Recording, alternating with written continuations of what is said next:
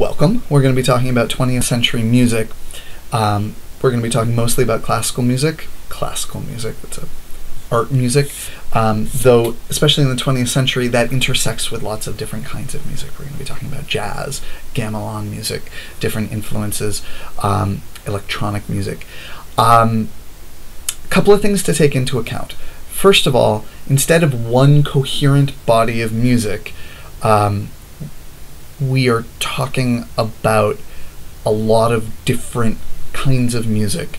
Um, there's a ton of different political, cultural, social, philosophical enclaves um, th- that really deserve attention when we talk about 20th century music history. Um, and it all sounds different across the board. Um, a lot of the information that I'm talking about uh, is coming from a fabulous book by Alex Ross called The Rest is Noise Listening to Music uh, in the 20th Century.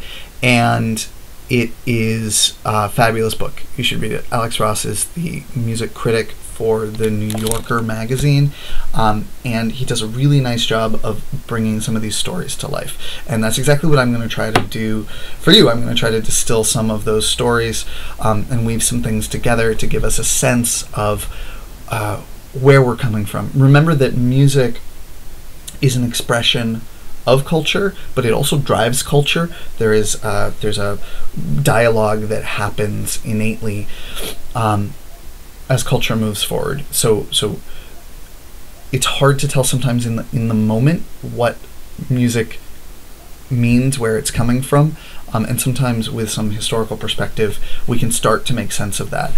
Um, our story is going to start in 1906 in the Austrian city of Graz for the premiere of Richard Strauss's opera Salome. But that's actually chapter two because I feel it's really important before we get into 20th century music and who those main players are in that particular moment where a lot of different threads are going to come together. I want to back up just a second and talk about some of uh, what came before. So we're going to uh, talk about um, the music of the 1800s, the Romantic period. Uh, the 1800s gave us what we think of as one of the beefiest parts of the classical music repertoire. Uh, there's going to be a lot of air quotes every time I say classical. Remember that we say classical music to represent art music as an umbrella, so Baroque, classical, romantic. Um, 20th century music. There is classical music throughout that, but there was also the classical period within that. Um, so that represents more specific years, and that can be confusing. I didn't make it up, it's not my fault. I'm still sorry. Um, but let's review Beethoven. When Beethoven started composing, he, he was living in the classical period, and his music changed so much that by the end of his writing, um, he, we were in the Romantic period. Uh, he was dead by 1827. Schubert died in 1828. Mendelssohn, a composer in his own right, um, but he was also the one who modernized the role of the conductor in the way we think about it now. He also was the one who brought uh, J.S. Bach's work back into the light. The work of Bach had been lost in the 1700s. And then Mendelssohn rediscovered him and started programming his work. 1830, Hector Berlioz completed Symphonie Fantastique. Do you remember that one? That was uh, about his obsession with actress Harriet Smithson. It had a depiction of opium dreams and his own fictitious execution by guillotine. Check out our other videos on Hector Berlioz for more information. Frederick Chopin, the great pianist, was busy performing and composing through the 1830s, and he also revolutionized the piano through the use of the pedals, um, using new kinds of sustain with the sustain pedal. Johannes Brahms was born in 1833. George Bizet, who wrote Carmen, was born in 1838. Tchaikovsky was born in 1840. That was, by the way, the same year that the clarinet was redesigned to its current form. Uh, things aren't just happening in Europe, though. Um, in 1846, the New York Philharmonic was formed. In uh, back in Europe, uh, in Italy, Giuseppe Verdi, one of the great Italian opera composers, wrote La Traviata. Um, that was in 1853. In 1856, the first Steinway piano was built by Henry Engelhard Steinway. It's worth mentioning um, both with Chopin and the and the use of pedal, and then Steinway with this sort of new piano uh, design. Um, or a more perfect piano design.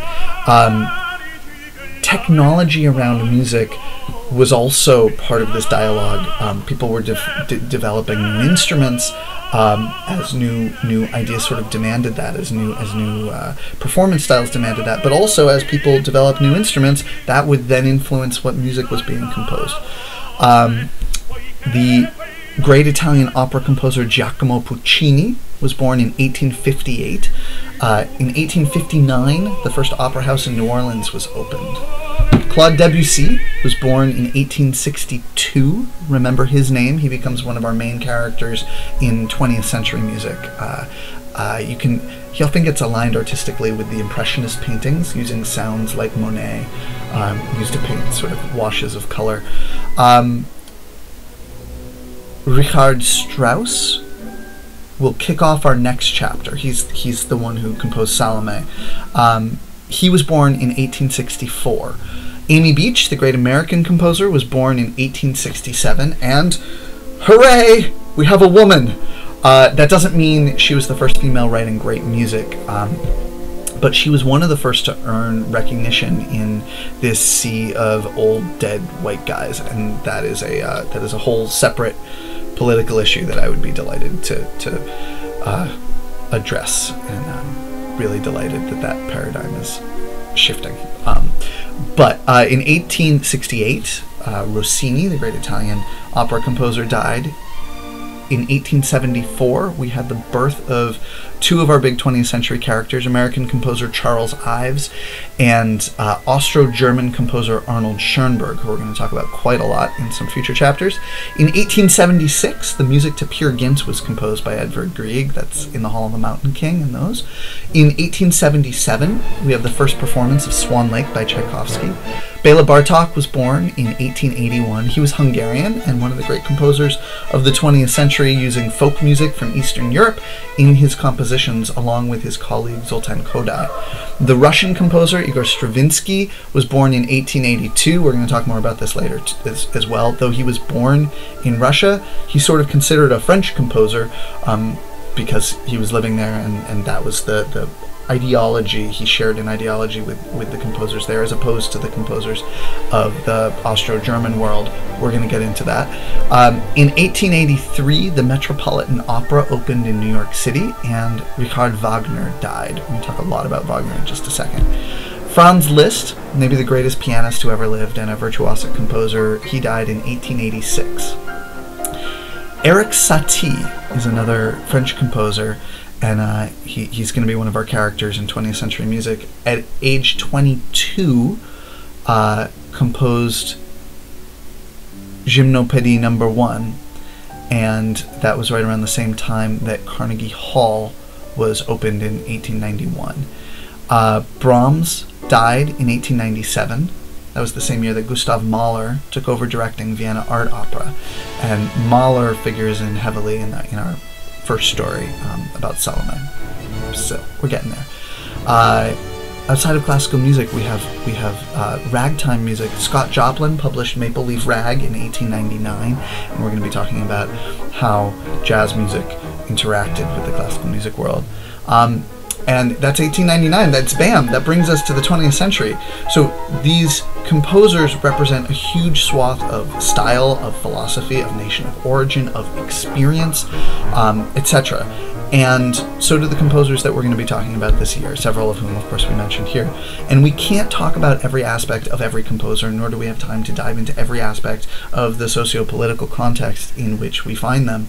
But I want to share some stories that put a spotlight on some of the themes that influenced or were influenced by the music of the 20th century. Um, so, to kind of frame that, I want to look for a second at the work of Richard Wagner. Um, he was a giant in um, music at the end of the 1800s. He was from, he was a composer from the town of Bayreuth. He was demanding, he was exacting in every aspect. Usually, opera would be written with a composer um, writing the music and a librettist writing the words or the libretto. Uh, oftentimes, if there was dancing, there would be a separate choreographer. Uh, Wagner did all of this. He, he micromanaged every element down to the physical specs for the opera house. He designed an entire hall specific for his operas. It had configurations for these outlandish special effects that he was using, and it was designed specifically for the acoustics of his music. And it, this is kind of cool. It had intentionally uncomfortable seats uh, so that people would stay awake throughout his long operas.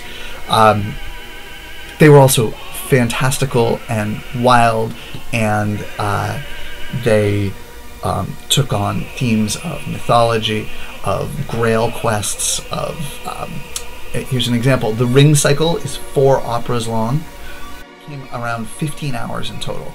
Um, but it was fantastical. Think Lord of the Rings, but with Norse mythology, and it's an opera. There were some recurring themes.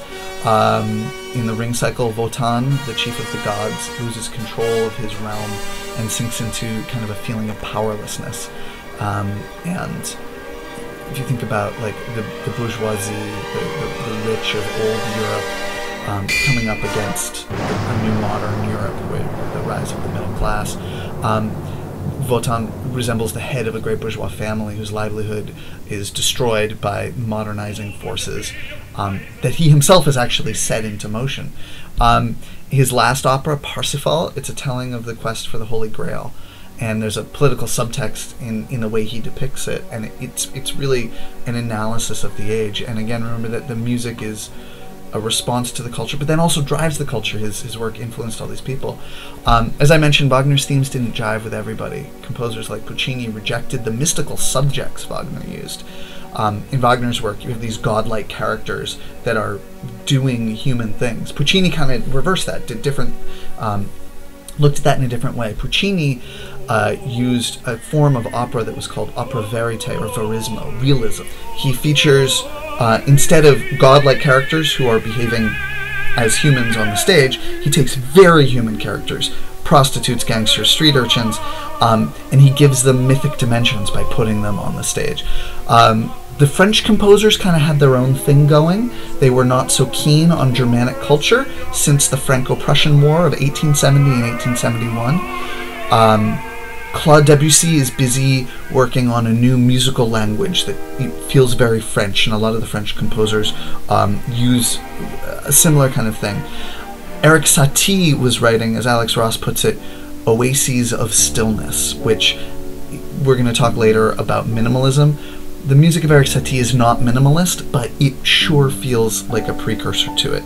Um, this kind of music is in stark contrast to the over the top, lush, fantastical operas of Wagner. There's also people who were really attached to classicism, to, to, to the old world, to the proper, to the bourgeois, to the um, think, think, think Vienna, think old classical Vienna. Vienna was a classical city. Um, for example, when the waltz showed up in Vienna, people were scandalized.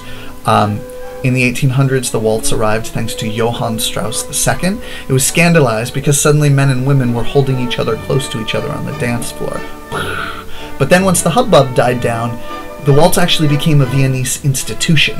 Um, and I mention that just because there's a constant churning of acceptance and rejection around this axis of what is new. And so things develop in this push and pull. Um, I also mention it because we're about to talk about Richard Strauss. And it's worth noting that Richard Strauss is from a musical family. His father was a horn virtuoso, but that he is not related at all to the other famous Strauss family, Johann's family. Um, that's the one that was famous for the waltz. And I, I wanted to mention that also because we're about uh, to be talking about Richard Strauss, who was a classical snob in his earlier days. So Strauss is one of these composers who's really taking us forward into the 20th century um, in sort of a, a big rocket forward kind of way. But when he was young, he rejected music like Wagner's fantastical work.